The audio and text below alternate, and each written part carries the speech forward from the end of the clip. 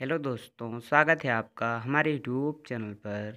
तो गाइस, आज के थोड़ों में हम आपको बताने वाले हैं कि अगर मोबाइल के डिलीट हुए एम पी सॉन्ग या आइडियो सॉन्ग वापस नहीं आ रहे हैं रिकवर नहीं हो रहे हैं तो कैसे आप वापस लाएँगे? काफ़ी आसान तरीका है गाइस तो वीडियो को लास्ट तक देखते रहिए। वीडियो पसंद आए तो वीडियो को लाइक और चैनल को सब्सक्राइब कर लेना। तो गाइस, अगर आप म्यूज़िक प्लेयर को ओपन करते हैं, यहाँ से किसी भी सॉन्ग को डिलीट करते हैं तो एक एक यहाँ से डिलीट करते होंगे। जो कि काफ़ी वक्त लगता है। यहाँ से देखिए डिलीट करेंगे, यहाँ से सेलेक्ट करेंगे तो सेलेक्ट नहीं होता है। इसलिए गाइस अगर आपने अपने फ़ाइल मैनेजर से डिलीट कर दिया है तो फिर आप वापस ला सकते हैं। सबसे पहले हम आपको एम एक्स प्लेयर को ओपन करते हैं। यहाँ पर इस फोल्डर में दिखाते हैं पाँच गाने हैं। यहाँ से आप देख सकते हैं गाइस पाँच गाने हैं। चलिए हम इसे डिलीट करके आपको रिकवर करके दिखाते हैं। तो फ़ाइल मैनेजर को ओपन करते हैं। फिर यहाँ फ़ोन स्टोरेज में चलते हैं, इसी में है। फिर यहाँ पर इस फोल्डर में जाते हैं, यहीं पर। चलिए हम क्लिक करते हैं। यहाँ से सभी गाने को सेलेक्ट कर लेते हैं। फिर यहाँ पर डिलीट का एक ऑप्शन है इस पर क्लिक करते हैं।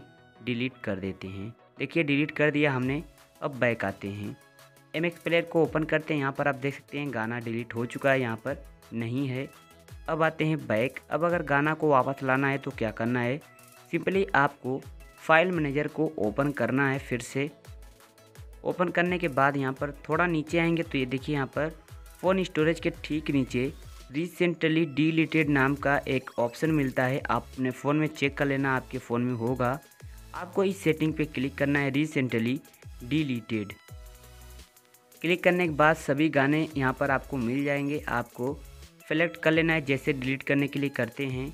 फिर ऊपर यहाँ पर सेलेक्ट पे क्लिक कर देना, सभी गाने सेलेक्ट हो जाएँगे। फिर आपको यहाँ रिकवर पे क्लिक करना है। फिर आपको यहाँ पर रिकवर ऑल पे क्लिक कर देना है। सभी गाने वापस आ जाएँगे। देखिए, हम चलते हैं फ़ोन स्टोरेज में।